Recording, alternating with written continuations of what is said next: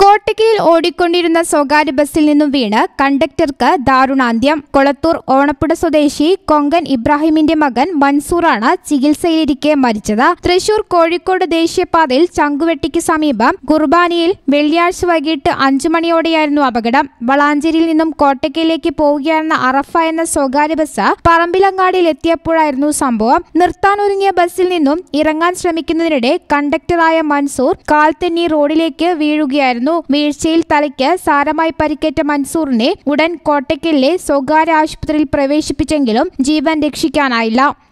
News bureau Kottakkal.